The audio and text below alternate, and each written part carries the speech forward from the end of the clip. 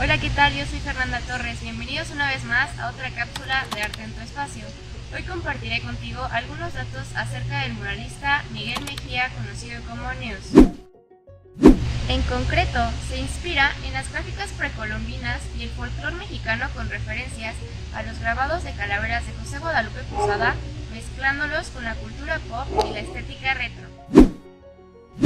Ha participado junto a otros 11 artistas internacionales en la campaña United Streets of la Liga, que celebra la vuelta del deporte rey en España después de 92 días sin partidos en el 2020, pues significa mucho para todos los aficionados al fútbol y para celebrarlo escogieron esa intensa emoción.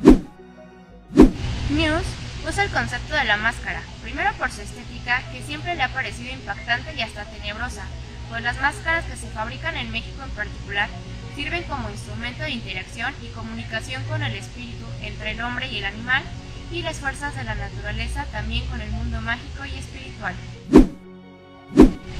Miguel Mejía tiene un albergue de animales y cree que las personas tenemos que ser útiles a nuestro entorno, pues es importante cuestionar qué beneficios estás dejando más allá de ti.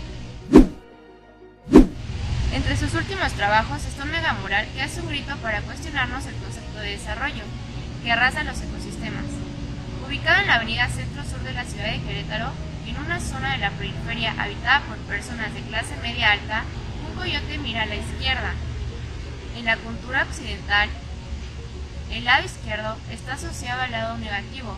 En esta obra izquierda insinúa un retroceso. El coyote está volteando al límite desarrollado.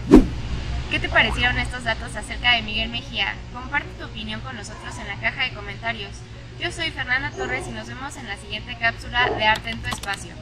No olvides suscribirte, darle like y compartir este video. Hasta luego.